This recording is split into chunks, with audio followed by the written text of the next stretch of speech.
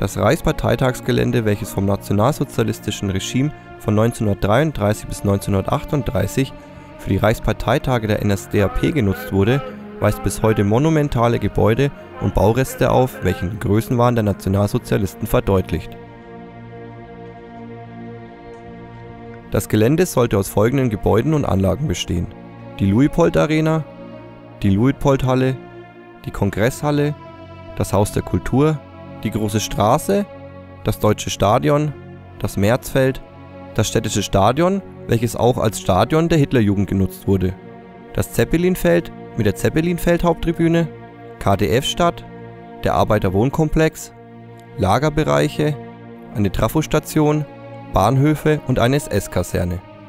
Jedoch wurde nur der Bau des Zeppelinfeld und der Zeppelinfeld-Tribüne abgeschlossen. Der Bau der weiteren Gebäude wurde nie beendet bzw. wurde nie mit deren Bau begonnen. Die unvollendete Kongresshalle ist nicht nur der größte Monumentalbau auf dem ehemaligen Reichsparteitagsgelände, sondern auch das größte erhaltene Relikt der Herrschaftsarchitektur des Dritten Reiches.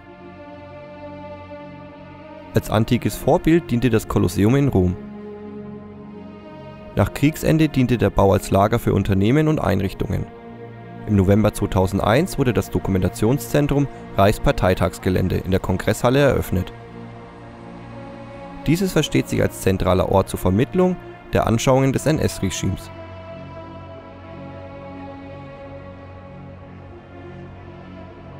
Das Zeppelinfeld und die Zeppelin-Hauptfeldtribüne dienten Hitler für Masseninszenierungen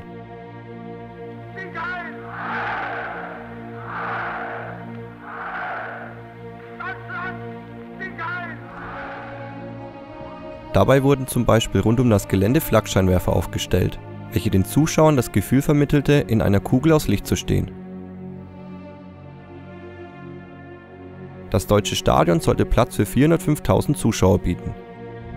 Im Vergleich bietet das Max-Morlock-Stadion in Nürnberg Platz für 50.000 Zuschauer. Die ausgehobene Baugrube ist mit Grundwasser vollgelaufen und wird heute als Silbersee bezeichnet.